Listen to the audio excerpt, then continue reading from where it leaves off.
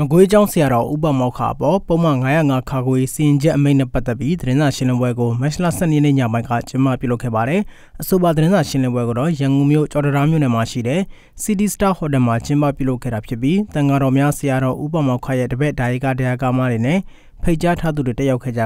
905ခါခွဲမှုနဲ့ပတ်သက်ပြီးစီရင်ချက်ချမှုပေါ်လေးလာသုံးသက်ချက်စာတမ်းနဲ့ မကွေးကျောင်းဆရာတော်ဥပမောက္ခရဲ့တုံ့ပြန်ကြေညာချက်တွေကိုဖြန့်ဝေခဲ့ပါတယ်။သတင်းစာရှင်းလင်းပွဲမှာတော့မကွေးကျောင်းတိုက်ဆရာတော်ဥပမောက္ခက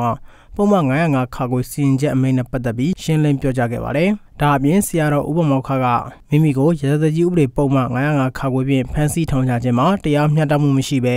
ဥပဒေနဲ့လည်းညီညွတ်မှုမရှိကြောင်းသတင်းစာရှင်းလင်းပွဲမှာပြောကြားခဲ့ပါတယ်။ ပြီးခဲ့တဲ့2016ခုနှစ်ဧပြီလ28ရက်နေ့ကကမာရွတ်မြို့နယ်တက္ကသိုလ်ရိပ်သာလမ်းပေါ်ရှိ American တန်ယုံရှိမှာမြန်မာနိုင်ငံမှာရိုဟင်ဂျာမရှိကြောင်းစံနှထုတ်ဖော်မှုနဲ့ပတ်သက်ပြီးမကွေးကျောင်းတိုက်ဆရာတော်ဥပမောက္ခကိုပုံမှန်19ပုံမှန်905ခါကိုတို့နဲ့တရားစွဲဆိုထားခဲ့ပြီးထောင်ဒဏ်3လချမှတ်ခဲ့ကပြီးခဲ့တဲ့မတ်လ9ရက်နေ့ကအင်းစိန်ကျင်းတော်မှာပြန်လည်လွတ်မြောက်လာခဲ့တာဖြစ်ပါတယ်